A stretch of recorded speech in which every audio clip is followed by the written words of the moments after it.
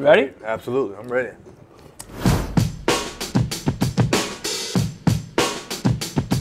Welcome to the Reese's Puffs Breakfast Club. I've got Derek Anderson with me. How you doing today, man? Great, man. What's your favorite NBA moment?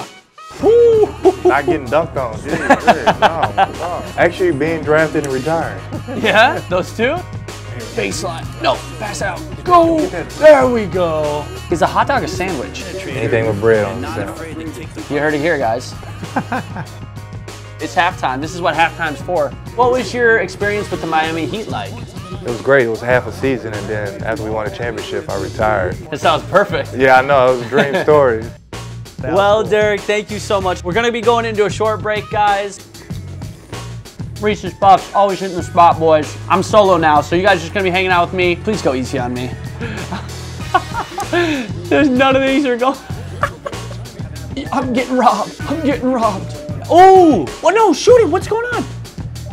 Why did he? It doesn't matter. I did it for the heroics.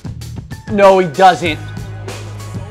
You're gonna BM me like that? That's disrespectful, man. Oh my gosh, what a move. Oh my gosh. It up at the buzzer.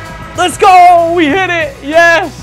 Thank you guys so much for hanging out in the first stream of three in the Reese's Puffs Breakfast Club. And if you guys go and buy your Reese's Puffs, you can get 2,500 VC and a My Team card as well. On top of that, we're gonna be streaming next time on January 6th, and I'll see you then.